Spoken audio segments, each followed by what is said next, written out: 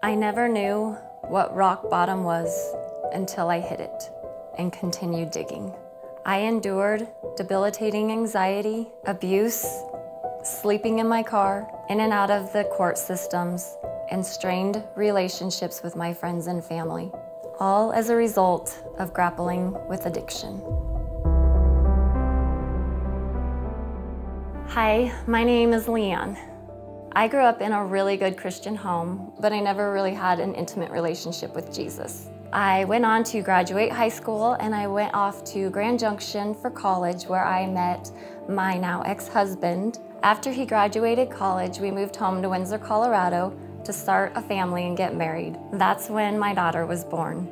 That day, my whole life completely changed. From there on out, all I cared about was family. Because of that, it caused my marriage to turn in a different direction. It became extremely toxic and volatile, and it did end in a divorce. Felt like I had completely failed my daughter and that she was going to be raised in two separate homes. I fell into a very deep, dark depression.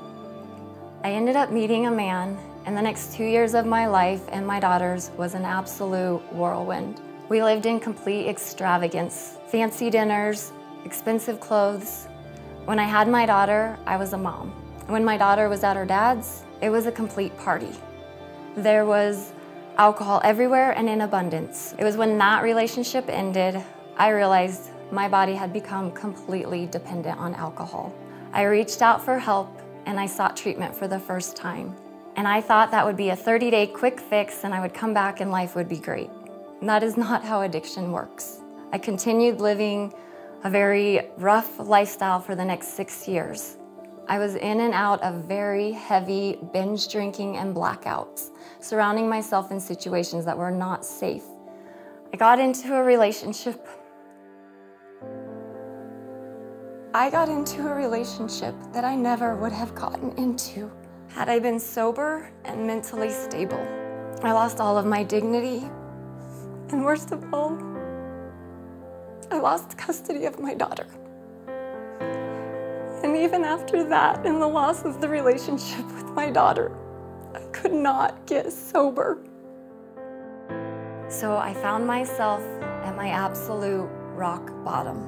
It was February, negative four degree weather, and I was sleeping in my car and looking around at what I had done to my life and what an absolute mess it was. In that moment of absolute desperation, I screamed at the top of my lungs. I cried out to God and I begged and pleaded for Him to rescue me from this hell, and I will stop doing it my way, and I will start doing it your way. God started working miracles immediately. I found a faith-based treatment called Come As You Are. Not only did I get to Kaya and not experience a mental breakdown, but it was the absolute opposite. I immediately felt peace. I had found community. I did not notify the courts that I had left. My probation was revoked. I was facing a lot of jail time. The judge gave me the opportunity to speak. I closed my eyes, put my head down, and I prayed to the Holy Spirit. First, I took responsibility.